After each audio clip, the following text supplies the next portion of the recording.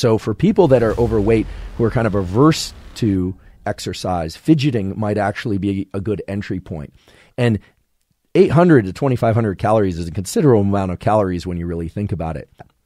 Now, I would be remiss and I'd probably come under a pretty considerable attack if I didn't just acknowledge up front a core truth of metabolic science and also of neuroscience, frankly, which is that calories in versus calories out, meaning how many calories you ingest versus how many calories you burn, is the fundamental and most important formula in this business of fat loss and weight management in general. If you ingest far more calories than you burn, you're likely to gain weight. And a good portion of that weight is likely to be adipose tissue, fat. It's also true that if you ingest fewer calories than you burn, that you will lose weight and that a significant portion of that will come from body fat. A calorie is a calorie as a unit of energy, and we need to accept and acknowledge this calories in, meaning calories ingested versus calories burned formula, but the calories burned portion is strongly influenced by a number of things that you can control that can greatly accelerate or increase the amount of adipose tissue or the proportion of adipose tissue that you burn in response to exercise and food. If your foundation of health and your foundation of hormones and your foundation of metabolism isn't right, it's going to be very hard to get the most out of any kind of exercise or fat loss protocol we should all be striving to get quality and sufficient sleep. Get your sleep right, get your light exposure right, avoid bright light in your eyes at times you want to be asleep, and get bright light in your eyes at times you want to be awake. The other thing is essential fatty acids. We need fatty acids. They are vital to so many aspects of our health. You don't have to get them from supplements. You can if you want to, but you need to get them from your food. They are essential. The levels of fatty acids that will promote good mood and also healthy metabolism and will start to shift the needle in the right direction on blood-borne cardiovascular factors. The key thing is to get the levels of EPA that you ingest above 1,000 milligrams per day. So that doesn't mean just taking 1,000 milligrams or more of say fish oil or krill oil or whatever your preferred source is, it means getting above thousand milligrams of EPA, which may require that you ingest more essential fatty acids than just thousand milligrams per day. As well, for people who have cravings issues, they, they crave sweets all the time. People who are craving sugar can satisfy that sugar craving by giving the neurons, so to speak, what they actually want, which are amino acids and essential fatty acids. That includes EPA, but also things like glutamine, an amino acid that can really reduce sugar cravings if you take a teaspoon of that or even a tablespoon of that a few times a day. Finally, you can't really position yourself to have a strong metabolism if your iodine levels aren't correct and your thyroid levels aren't correct. The best ways to support the thyroid system and metabolism in general is to make sure you're getting enough selenium, sometimes called selenium, each day. Simple way to do that is to ingest the highest concentration of selenium food that I'm aware of, which is Brazil nuts. One or two or three of those per day, you'll have more than enough selenium uh, to meet the thyroid needs. So, again, sleep, sufficient EPAs Glutamine, if you have issues with leaky gut or sugar cravings, can really help. Get your gut microbiome right. I may have uh, missed saying that, but get your gut microbiome right. That does not necessarily mean you need to ingest probiotics. You can if you want to, but you can also just simply ingest a serving or two of fermented foods per day. That can greatly assist. So things like sauerkraut, kimchi, every culture has a different um, source or sources of fermented foods. Those can really help the, the gut microbiome. And then make sure that your thyroid hormone is supported through the ingestion of sufficient iodine, not too much, and sufficient selenium, not too much. That sets the basis for how things like exercise, cold, and some of the compounds and other things that we're going to talk about today that are, I'm guessing, truly going to be truly new to many of you that can really increase the burn factor in the equation of calories in versus calories b- burned. The burn factor, your thermogenic environment, is one of the, if not the most important factors in this business of fat loss. And since I'm a neuroscientist, that's what we're going to talk about. Let's talk about how fat is converted into energy which is sometimes also called fat burning. There's two parts to this process. One is fat mobilization, and the second is fat oxidation or utilization. You just have to move that fat out of the position that it's in. You have to get it out of the fat cells. All right. It can be visceral around our viscera, our organs, or it can be subcutaneous under our skin. Most people are thinking about subcutaneous fat when they think about fat. So the first step is to get those fatty acids moving around in the bloodstream, to get them out of those fat cells. And then they can travel and be used for energy. And that second part, remember, first part is mobilization, the second part is oxidation, is then those fatty acids, those are potential fuel. They're just potential fuel, but you haven't burned the fat yet. You've just moved it out of your fat cells. They're going to go into cells that can use them for energy.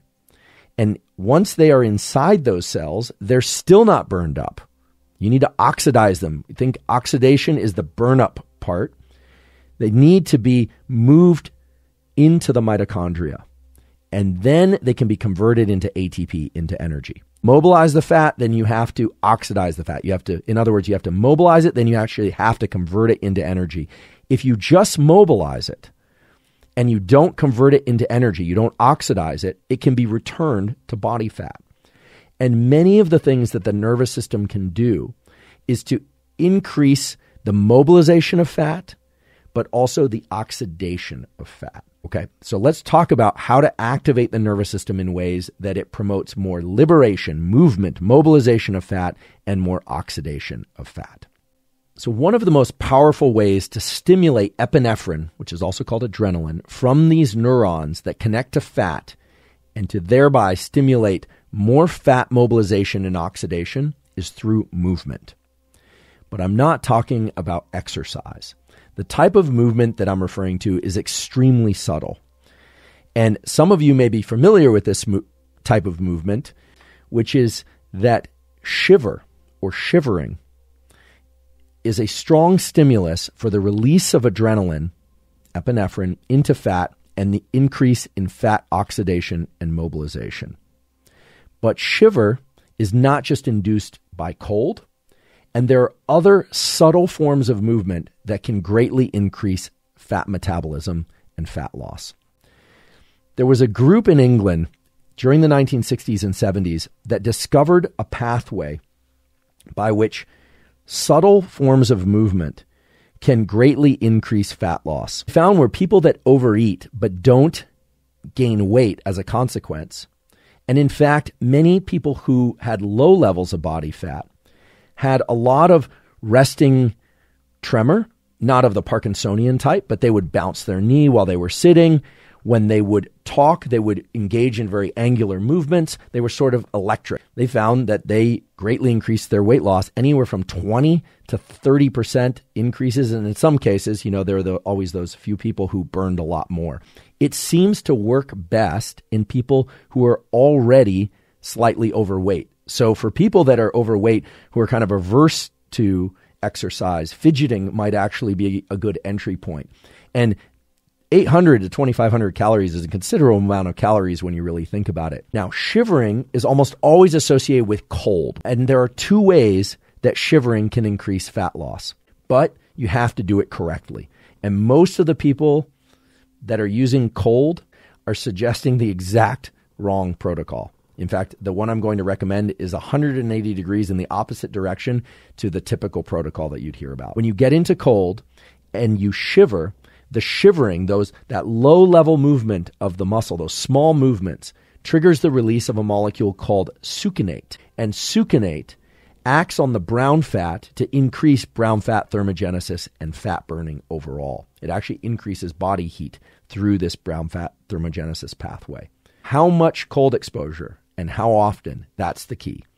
Remember, if you resist the shiver, you are not going to get the increased metabolic effect because you are not going to get the succinate release. So, how many times a week do you need to expose yourself to cold will depend on how much fat you're trying to lose and how much you're trying to increase your metabolism.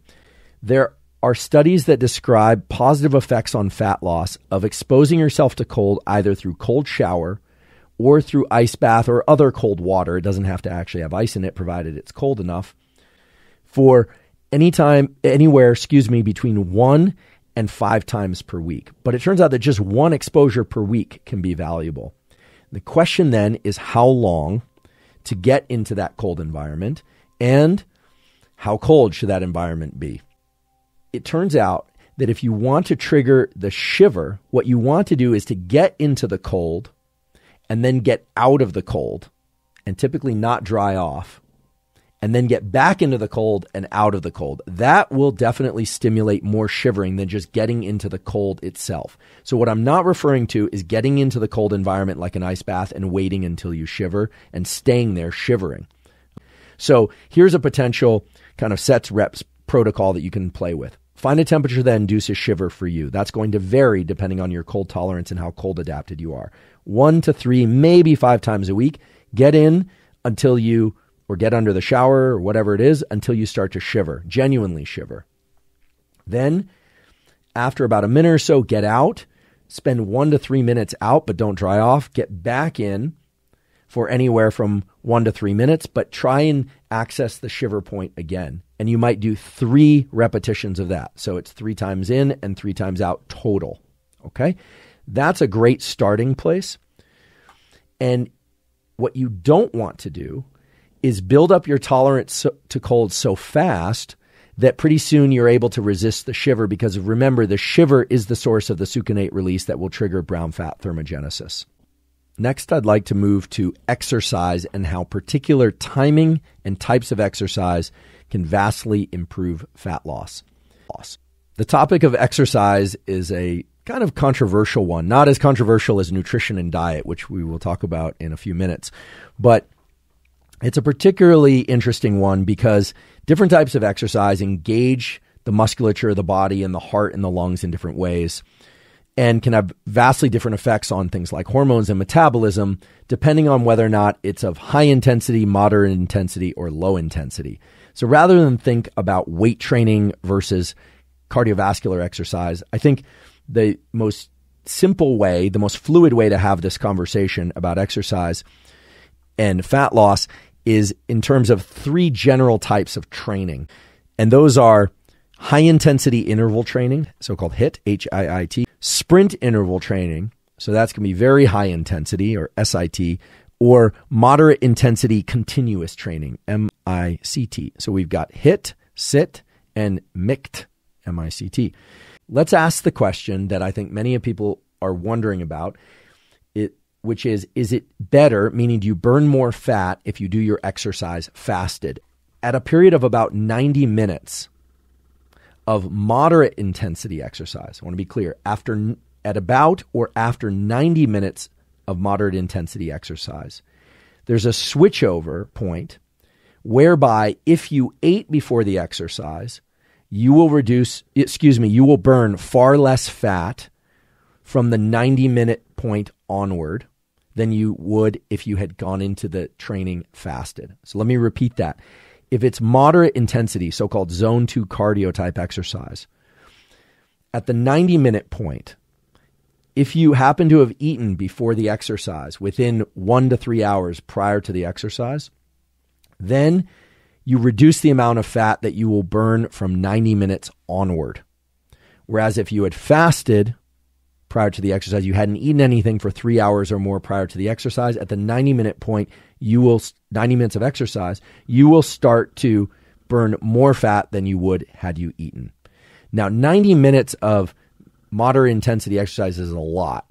Now, there are also studies that point to the fact that you don't have to wait to 90 minutes in order to get this enhanced fat burning effect. If one does high intensity training or or even the very high intensity forms of training like sprints or squats or deadlifts or any kind of activity that can't be maintained for more than these, you know, eight or I would say up to 60 seconds. So a set of lifting weights repeated, repeated. If that's done for anywhere from 20 minutes, so weight training or powerlifting or these kinds of things or kettlebell swings, or up to 60 minutes, well, then the switchover point in which you can burn more fat if you go into that fasted comes earlier. because there's nothing holy about the 90 minute point for medium intensity zone 2 cardio.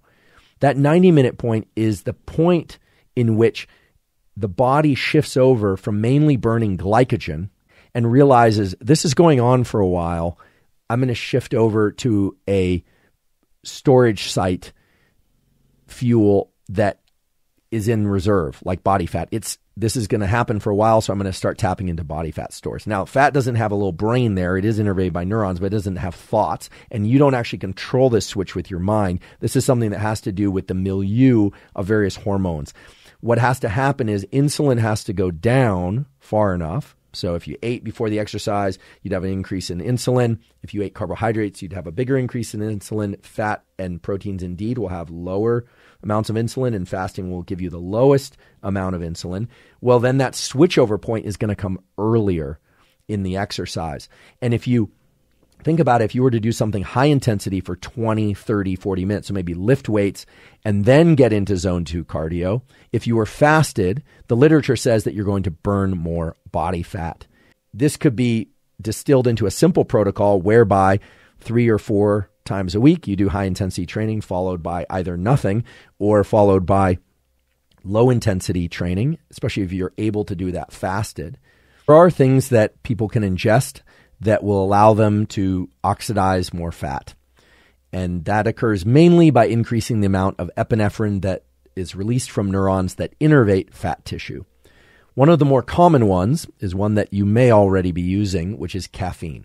Caffeine for burning more fat, for oxidizing and mobilizing more fat, is an interesting one. It can be effective at dosages up to 400 milligrams, and indeed that will lead to increased fat oxidation. It will do that because you will release more epinephrine and adrenaline. What are some of the other things that are, are useful and interesting? Well, in terms of tools that are actionable and have reasonable safety margins, I've talked before about uh, something called GLP 1. This is something that uh, can be triggered by the ingestion of yerba mate, which is a tea. GLP 1 is in the glucagon pathway. Mate increases GLP 1 and yes, increases the percentage of fat that you'll burn. It increases fat burning. And that is especially true, it turns out, from the scientific literature, if you ingest mate prior to exercise of any kind. So if you want to burn more fat, drinking mate before exercise is good. And there's one more compound that I think we should discuss in terms of increasing fat loss, and that's carnitine or acetyl L carnitine. They lie in the same pathway we can return to our basic knowledge now of fat mobilization and oxidation. After fat is mobilized and makes it into cells and needs to be oxidized, that is accomplished and is facilitated by the presence of glucagon being elevated. GLP increases that process, and insulin being low. L carnitine and acetyl L carnitine in particular facilitates fat oxidation. It con- helps convert fatty acids into ATP. And indeed, supplementing L carnitine can increase fat loss. That's been shown.